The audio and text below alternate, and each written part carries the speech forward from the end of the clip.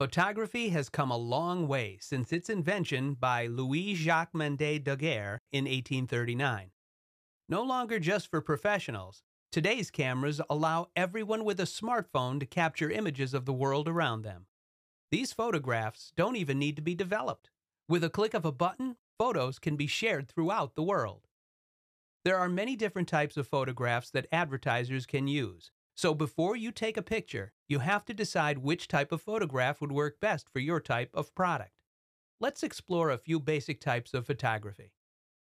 One of the most popular types of photography is portrait photography. Any picture with a face from people to animals is considered a portrait. Portraits are usually used to market beauty items like mascara or lipstick. Aerial photography is used when taking overhead shots of things like marathons or traffic. Action photography is usually used in sports sections, showing athletes participating in whichever event occurred the night before. Both of these types can also be considered documentary photography, meaning they are photographs of events. People looking to sell something use architectural photography or commercial photography. These are pictures of products or houses or buildings. Nature photographs are taken for magazines or websites and are usually of landscapes and animals. After deciding what kind of photograph you want, you then have to decide what format you want it to be. The most common file format is a JPEG, which most cameras automatically use. RAW format is used when more editing is needed, and the TIFF format is used for enlargement. Once you've decided on your format, then line up your shot. A good thing to remember is the rule of thirds, which is looking at your subject and trying to imagine that there's a grid of nine equal squares over your shot. This helps with alignment and framing so your photographs look more balanced and all of the action isn't to one side or the other. If you have a digital camera, most will automatically adjust the exposure for you. Exposures make photos lighter or darker, depending on how long the shutter is open. Modes automatically adjust settings when you take different types of photos. With the right mode, sports photos won't look blurry, and you can capture a shot of a bird in flight. Lighting is also important. If you're taking a picture of someone outdoors, make sure the sun isn't behind them, because chances are the sun will overwhelm the shot and you won't be able to see the face of your subject. Also important is the flash. Sometimes the flash can be used to your advantage, flooding darkened areas with light. Be careful with the flash though, because if you get too close to your subject, they'll get washed out and look like they're glowing. You can also turn your flash off if you're outdoors or somewhere with a lot of good lighting. In addition to the flash that comes with your camera, a separate flash unit can also be purchased. Professional photographers usually have these to add better lighting to their photographs.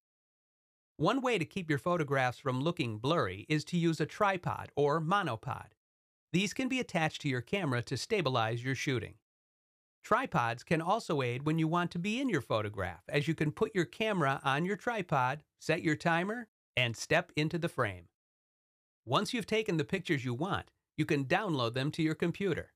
If you went with film, however, you'll need to take them to a photo processing center to be developed, unless you have access to a darkroom. After downloading your photos to your computer, you can then edit. Most computers nowadays come with photo editing technology, allowing users to change colors and all sorts of other things, like removing red eye and moving one part of a photo to another photo. Even smartphones come with editing capabilities. Popular apps such as Instagram allow users to add filters, which can change the colors in your photographs, among other things. Photography has come a long way since its creation in 1839. Advertisers utilize different types of photography in order to create eye catching advertisements. Some examples include portrait photography, any picture with a face, from people to animals, aerial photography, a type of overhead shot, action photography, a photo of a subject performing a movement or action, architectural photography, pictures of houses or buildings. Commercial photography, pictures of products. Nature photography, images of landscapes or animals. Common formats and file types include JPEG, the most common format, RAW, used for additional editing, and TIFF, used for enlargements. Many photographers use techniques like the rule of thirds to get a balanced and aligned photo, different exposures to make photos lighter or darker, and modes which automatically adjust settings to get sharper photos. The right equipment also helps when taking a picture.